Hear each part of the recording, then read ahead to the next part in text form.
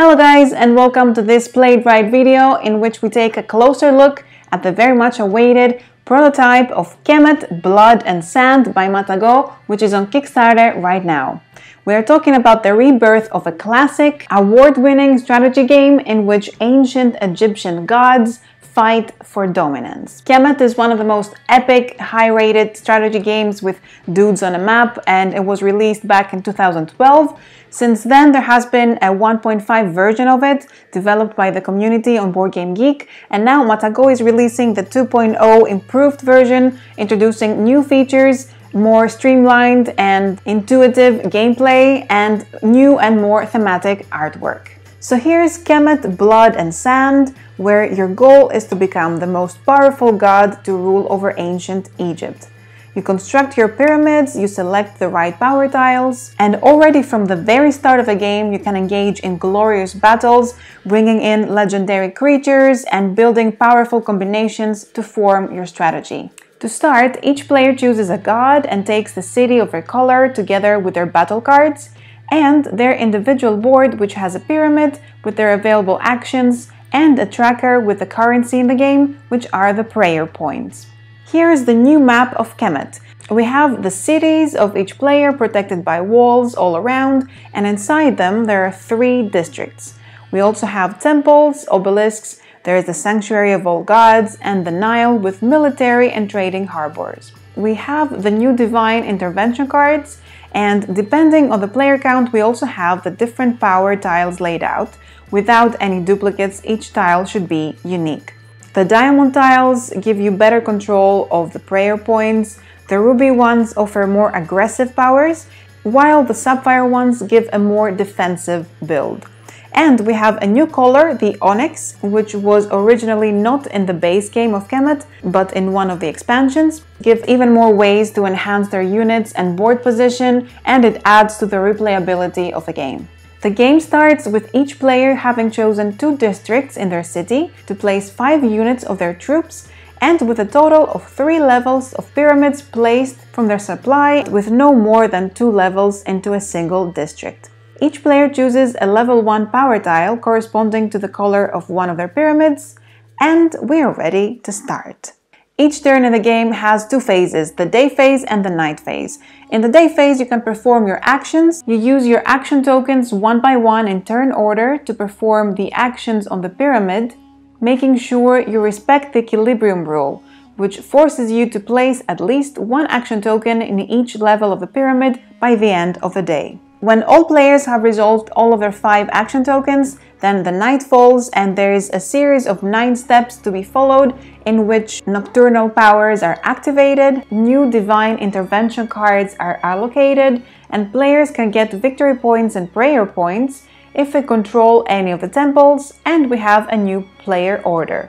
In Kemet, players compete for dominance over as many rounds needed for one of the players to reach the total of 9 victory points during their turn before they can play their next action token. So let's see the actions you can do in your turn. You can pray and gain 2 prayer points, you can buy a power tile, you can move, raise your pyramid or recruit. For buying power tiles, in the final version of the game there will be tiles with the power tile colors to place here. For now I have placed the tops of the pyramids to indicate the colors. These actions allow you to buy a power tile of the same color as the pyramid you control and you have to pay the cost indicated with prayer points. With the recruit action you can recruit units in your own districts paying one prayer point for each and never exceeding the 5 units per troop. This action allows you to raise your existing pyramids or raise a new one. Each level you raise costs prayer points equal to the sum of the level or levels you wish to raise the pyramid. So for example, to bring this one from level 1 to level 3, it cost me 5 prayer points. Why do you need the pyramids? Well, first of all, they allow you to buy power tiles of a matching color and that are of the same level or lower. Also, each level 4 pyramid gives one pyramid victory point to the player that controls its district. And each pyramid allows units in its district to be teleported to any space containing an obelisk by spending 2 prayer points. That's right, you can teleport your units with the power of your pyramids. And that brings us to the move action. You can move a troop either by one land move, plus any additional move from powers or divine intervention cards, or do a teleportation from your pyramid to an obelisk.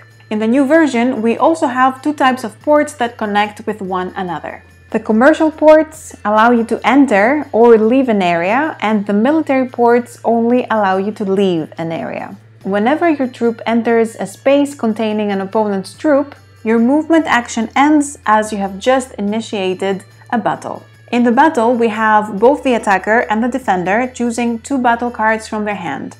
The first one is something like a secret sacrifice. It's discarded face down, it's never revealed, and it's now out of the game.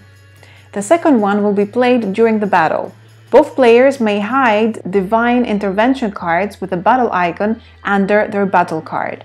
If anyone asks you, you don't have to admit whether you played intervention cards or how many, and you don't have to tell the truth either. Then both players reveal the cards and pay any costs from divine intervention cards used.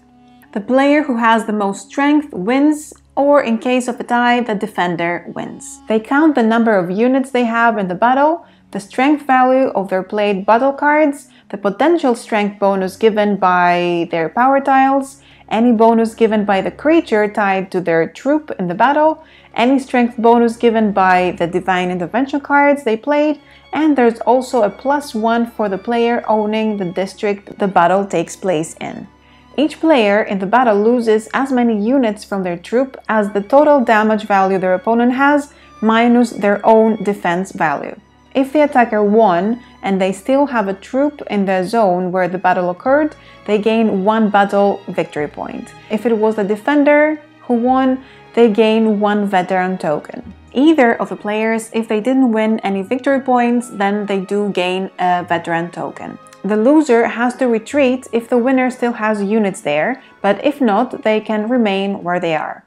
Either of the players can also choose to recall their troop if they want, returning them to the supply and gaining prayer points for each unit returned minus 1.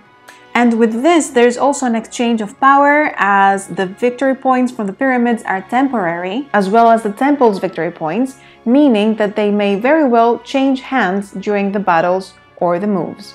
The bottom line of all this is that the new Kemet's gameplay is definitely more fluid and the total experience is more immersive. The iconography is better, uh, some rules are more intuitive, and the replayability is higher. Also, the minis are bigger and more detailed, the new art is gorgeous, and I personally love the shift to a darker aesthetic that fits the theme of the game more, and I think that overall the additions and the alterations bring the game to the epicness level that it deserves. If you want to have a look at the actual game and the Kickstarter campaign, you can go to the link in the description below for Kemet Blood and Sand. Leave me a comment to let me know what you thought of the older game, the new additions.